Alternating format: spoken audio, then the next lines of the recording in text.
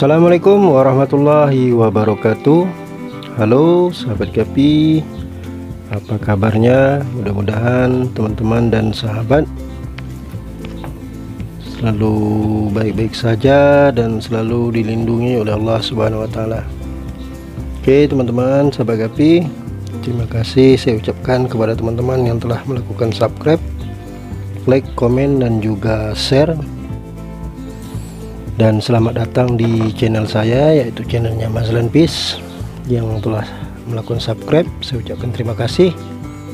Yang baru berkunjung saya ucapkan selamat datang.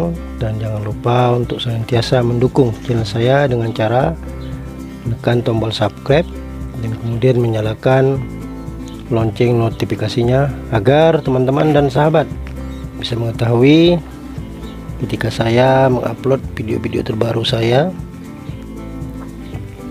mengenai cara berternak ikan gapi dan juga cara merawat ikan gapi teman-teman.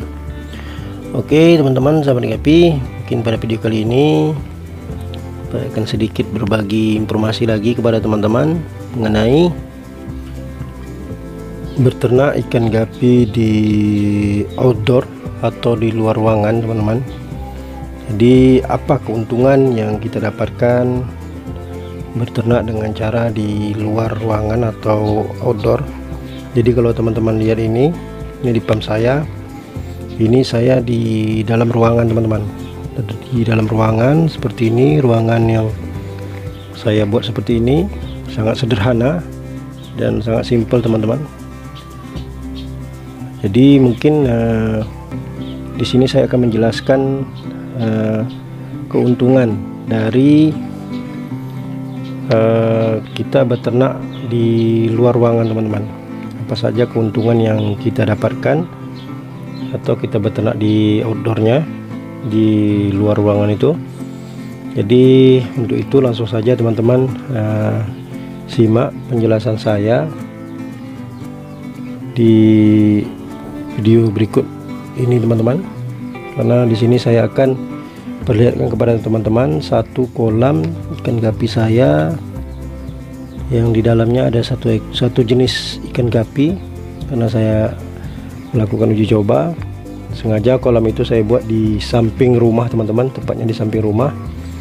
Jadi seperti apa kolamnya dan apa saja keuntungan yang kita dapatkan ketika kita melakukan uh, beternak ikan gapi atau ikan hias yang lainnya itu di luar ruangan teman-teman atau di outdoor.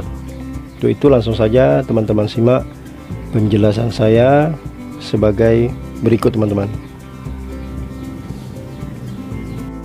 Oke teman-teman sahabat gapi jadi inilah uh, satu kolam ikan gapi saya yang ada di outdoor artinya di luar ruangan teman-teman.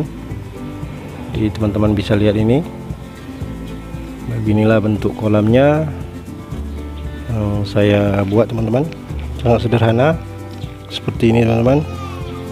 Di sini pun ada kucing ya teman-teman ya. Jadi seperti ini teman-teman.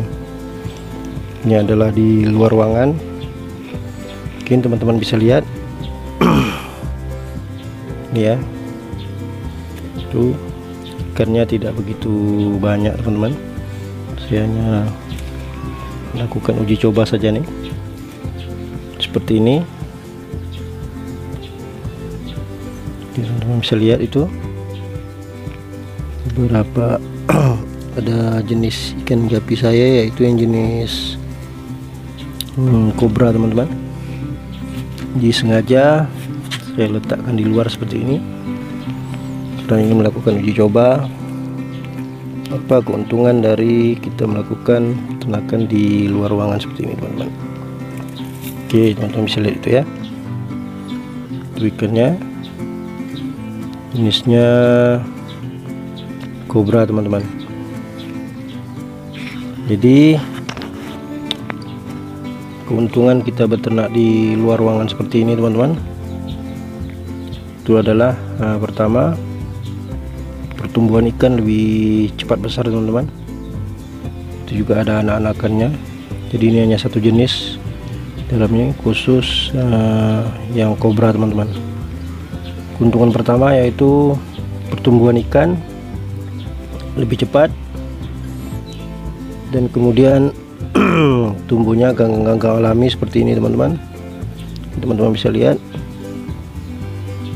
Ganggang-ganggang alami seperti ini akan tumbuh sendiri dan ikan-ikan pun merasa lebih uh, alami teman-teman dan kemudian untuk uh,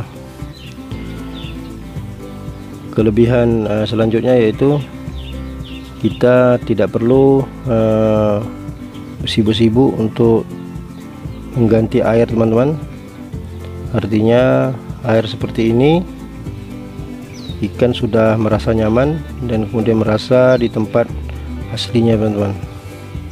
Jadi intinya kita melakukan peternakan di outdoor ini atau di luar ruangan ini akan menghasilkan pertumbuhan ikan yang lebih cepat dan kemudian ikan merasa di seperti di tempat alaminya teman-teman.